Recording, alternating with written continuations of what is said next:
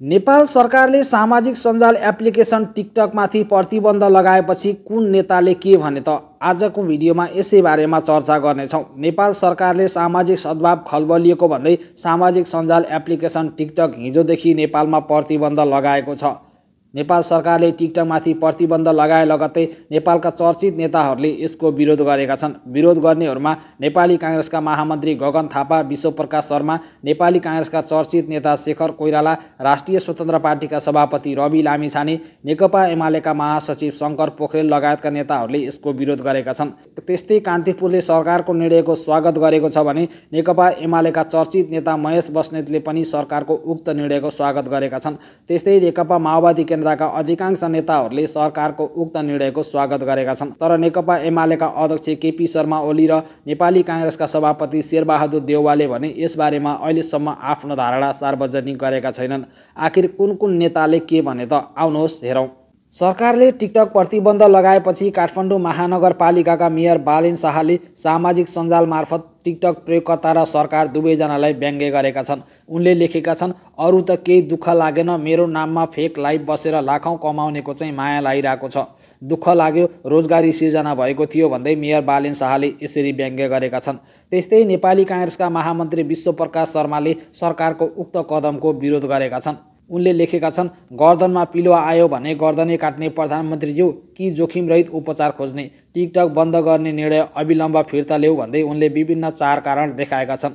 एकमा उनले भनेका छन् आज टिकटक बन्द भोलि फेसबुक बन्द पर्सि कसैले भनिदेला लोकतान्त्रिक शासन प्रणालीले देश बिग्रियो भने तब के लोकतान्त्रिक प्रणाली नै भङ्ग गरिदिने? सरकार स्पष्ट होस् राज्यले स्वच्छन्दता नियन्त्रण गर्ने हो स्वतन्त्रता नियन्त्रण गर्ने होइन दुई नम्बरमा उनले भनेका छन् सामाजिक धार्मिक सहिष्णुताको रक्षा समाजको आत्मानुशासन र सरकारको सुशासनले हुने हो। सामाजिक सञ्जाललाई आत्मानुशासन कसरी ल्याउने? खुल्ला छलफल गरौँ तार्किक निष्कर्ष पहिल्याउँ र पालना गरौँ। तिन नम्बरमा उनले भनेका छन् सामाजिक देश फैलाउनेलाई पहिचान गर नियम बनाई त्यही व्यक्तिको टिकटक बन्द गर नो कमेन्ट तर एउटा बिराउने सारा पिराउने ढङ्गले समग्र टिकटक बन्द गर्ने सोच अलोकतान्त्रिक छ। चार नम्बरमा उनले भनेका छन् टिकटक मनोरञ्जनको साझा स्टेज बनेको छ कलाकार जन्माएको छ लाइभबाट कैयौँले कमाएका छन् व्यवसाय प्रवर्तन गरेका छन्। कैयौँले सकारात्मक सम्प्रेषण गरेका छन् दुरुपयोग जसले गरे तिनलाई निरुत्साहित र नियन्त्रणको कडा विधि बनाऊ भन्दै उनले सरकारको विरोध गरेका छन्। नेपालमा टिकटकमा प्रतिबन्ध लगाउने सरकारको निर्णयले दुई हजार एकसट्ठी साल माघ उन्नाइस गते राजा ज्ञानेन्द्रले गरेको कुको झल्को दिएको छ। लोकतन्त्रको लागि लडेका गणतन्त्रको लागि बलिदान दिएका भनेका नेताहरूले नै नेतृत्व गरेको सरकारको यो कदमले यो व्यवस्थाको नेतृत्व गर्न यी राजनीतिक दलहरू यी नेताहरू असफल भएको सङ्केत गर्दछ। सामाजिक सञ्जालमा समस्याहरू छन् विकृतिहरू छन् हरेक प्रविधिसँग विकृतिहरू आउँछ र त्यो विकृतिको व्यवस्थापन समाजले खुद गर्दै जान्छ। नैतिकताका आफ्ना कसीहरू प्रविधिले खुब निर्धारण गर्दै जान्छ समाजले गर्दै जान्छ। यसमा कानुन बनाएर प्रतिबन्ध लगाएर जनताको आवाज निमट्न खोज्नु। यो अत्यन्त अवैज्ञानिक प्रतिगामी र खेदजनक काङ्ग्रेसका अर्का महामन्त्री गगन थापाले सरकारको निर्णयको विरोध गरेका छन्। सामाजिक सञ्जाल फेसबुक मार्फत गगन थापाले सरकारको निर्णयको विरोध गरेका हुन्। उनले लेखेका छन् टिकटक बन्द गर्ने निर्णय गरेर सरकार उल्टो कदम हिँडेको छ। सामाजिक सञ्जालको दुरुपयोग गर्नेलाई निरुत्साहित गर्न नियमनको आवश्यक छ तर सामाजिक सञ्जाललाई नियमन गर्ने नाममा बन्द गरिनु सरासर गलत हो। यो एउटा सामाजिक सञ्जाल बन्द गर्ने नगर्ने भन्दा पनि यो सरकारको नियतको विषय हो। यसमा सरकारको नियत अभिव्यक्ति तथा वैतिक स्वतन्त्रतालाई कुण्ठित गर्ने देखियो। सरकारले यो कदम सच्याउनुपर्छ यसमा किन्तु परन्तु केही पनि चल्दैन भन्दै उनले सरकारको विरोध गरेका छन्। त्यस्तै नेपालकै चर्चित पत्रिका कान्तिपुरले सरकारको उक्त निर्णयको घुमौरो भाषामा स्वागत गरेको छ। नेपालमा मात्र होइन अन्य मुलुकमा पनि टिकटक प्रतिबन्ध छ भन्दै कान्तिपुरले विभिन्न छब्बिसवटा देशको नाम सार्वजनिक गरेको छ। नेपाली काङ्ग्रेसका चर्चित नेता डाक्टर शेखर कोइरालाले सरकारको उक्त निर्णयको विरोध गरेका छन्। शेखर कोइरालाले लेखेका छन् व्यक्तिगत स्वतन्त्रता कुण्ठित गर्ने गरी टिकटक बन्द गर्ने निर्णय सरकारबाट हुनु खेदजनक छ। यो निर्णय तत्काल फिर्ता लिई लोकतान्त्रिक बन्न सरकारलाई आग्रह गर्दछु। विगतमा पनि सरकारले निरङ्कुश बन्ने प्रयास गर्दा जनताको प्रतिकार र अदालतका आदेशका बारेमा सरकारलाई स्मरण गराउन चाहन्छु भन्दै उनले नेपाल सरकारको उक्त निर्णयको विरोध गरेका छन्। त्यस्तै चर्चित महिला पत्रकार समा थापाले सरकारको उक्त निर्णयको स्वागत गरेकी छन्। उनले लेखेकी छन् गाली खाइन्छ थाहा छ तर टिकटक बन्द गर्ने सरकारको निर्णयमा मेरो पूर्ण समर्थन छ।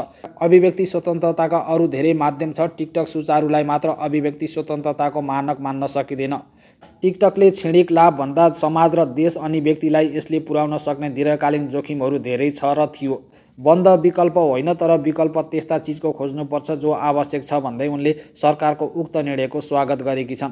त्यस्तै राष्ट्रिय स्वतन्त्र पार्टीका सभापति रवि लामिछानेले सरकारको उक्त निर्णयको विरोध गरेका छन्। उनले लेखेका छन् सामाजिक सञ्जाललाई नियमन गर्ने हो बन्द गर्ने होइन समस्या कन्टेन्टको हो प्लेटफर्मको होइन अराजकता अभिव्यक्तिमा होला माध्यमको के दोष? टिकटकका कैयौँ युजर र कन्टेन्ट खराब छन् तर सबै युजर र कन्टेन्ट खराब छैनन्। प्राविधिक रूपमा खराबलाई कन्ट्रोल गर्न सकिन्छ। टिकटकमा हालेको भिडियो रिलमा हाल्न मिल्छ इन्स्टामा हाल्न मिल्छ फेसबुकमा हाल्न मिल्छ। के सबै प्लेटफर्म बन्द गर्दै जाने हो त? यो निर्णय गर्ने सत्ताधारी दलका कैयौँ नेताहरू भ्रष्ट होलान्। के अब पार्टी नै बन्द गरिदिने हो त? मूलधारले ढोका बन्द गरेका कैयौँ प्रतिभाहरू सामाजिक सञ्जालबाट उदाए मूलधारले लुकाएका कैयौँ समाचारहरू सामाजिक सञ्जालले उजागर गरे। सामाजिक सञ्जालले फैलाएका कैयौँ अफवाहहरूलाई मूलधारले फेक प्रमाणीकरण गरे। आजको युगमा सोसल मिडियाको विकल्प सुधारिएको सोसल मिडिया हो। सत्ताधारी दलकै केही जिम्मेदार पदाधिकारीहरूको विरोधको अर्थ चाहिँ बुझिएन। के यो निर्णय माओवादी केन्द्रको मात्र हो भन्दै उनले प्रतिप्रश्न पनि गरेका छन्। त्यस्तै राष्ट्रिय प्रजातन्त्र पार्टीका अध्यक्ष राजेन्द्र लिङ्गदेनले पनि सरकारको उक्त निर्णयको विरोध गरेका छन्। प्रजातन्त्र मानव अधिकार र अभिव्यक्ति स्वतन्त्रताको ठुलो ठुलो ध्वास दिनेहरूबाट टिकटकमाथिको प्रतिबन्ध अनुचित र अनुपयुक्त छ। यो निर्णय निरङ्कुशताको बाटो हो। कुनै पनि प्रकारका सामाजिक सञ्जालबाट हुन सक्ने विकृतिको नियमन र नियन्त्रण आवश्यक छ तर त्यही नाममा प्रतिबन्ध स्वीकार गरिन्न। आज टिकटकमाथिको प्रतिबन्ध सुरुवात मात्र हो। भोलि एक्स ट्विटर फेसबुक आदिमा प्रतिबन्ध हुन सक्छ। कुनै पनि नाममा अभिव्यक्ति स्वतन्त्रतामाथि लगाइने अङ्कुशको विरोध गरिन्छ। टिकटकमाथिको प्रतिबन्ध अविलम्ब फिर्ता हुनुपर्छ भन्दै उनले सामाजिक सञ्जाल मार्फत यसरी सरकारको विरोध गरेका छन्। त्यस्तै पूर्व प्रधानमन्त्री डाक्टर बाबुराम भट्टराईले पनि टिकटकमाथि लगाइएको प्रतिबन्ध तत्काल हटाउनुपर्ने बताएका छन्। सामाजिक सञ्जाल मार्फत उनले आफ्नो अभिव्यक्ति सार्वजनिक गर्दै तत्काल नेपाल सरकारले टिकटकमाथि लगाएको प्रतिबन्ध हटाउनुपर्ने बताएका हुन्। उनले लेखेका छन् सुरुमा कुनै पनि प्रकारको प्रविधिको दुरुपयोग हुने र त्यसलाई राज्य समाजले विधिसम्मत ढङ्गले नियमन गर्ने र विधिको पालना नभएमा विधिसम्मत ढङ्गले दण्डित गर्ने स्थापित लोकतन्त्रको पद्धति हो। नेपालमा पनि केही समयदेखि सामाजिक सञ्जाललाई कतिपय प्रतिगामी अराजक उशृङ्खल व्यक्ति समूहले दुरुपयोग गरेकै हुन्। राज्यले उपयुक्त कानुन नियम बनाएर तिनलाई नियमन गर्ने र व्यापक जनमत निर्माण गर्ने काम पहिले गर्नु पर्थ्यो। परन्तु सरकारले एक्कासी एउटा प्लेटफर्म टिकटकलाई मात्र प्रतिबन्ध लगाउनु कुनै पनि हिसाबले उपयुक्त देखिन्न।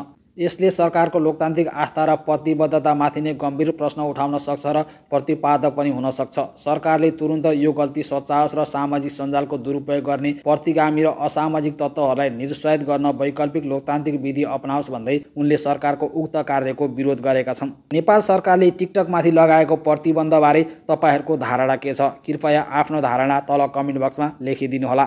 हस् त नमस्कार धन्यवाद।